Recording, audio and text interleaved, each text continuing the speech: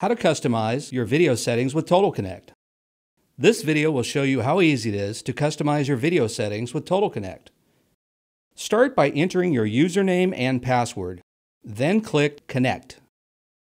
Scroll down until you see Video. Then click on the plus symbol to see the cameras. Click on the wrench icon. That'll open your settings and now you can edit. You can change the name, time zone, 12 24 hour format, date format, and much more.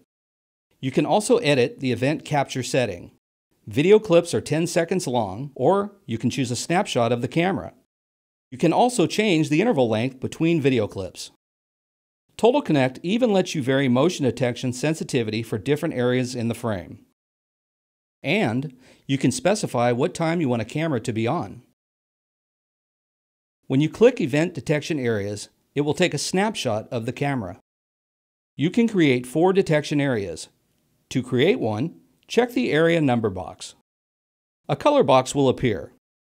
Click and drag inside the area to move. Click and drag the small squares inside the areas to resize.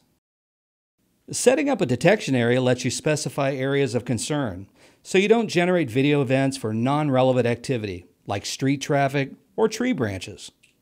Activity threshold means sensitivity. Note, a lower activity threshold value will trigger clips more readily. When finished, click Done.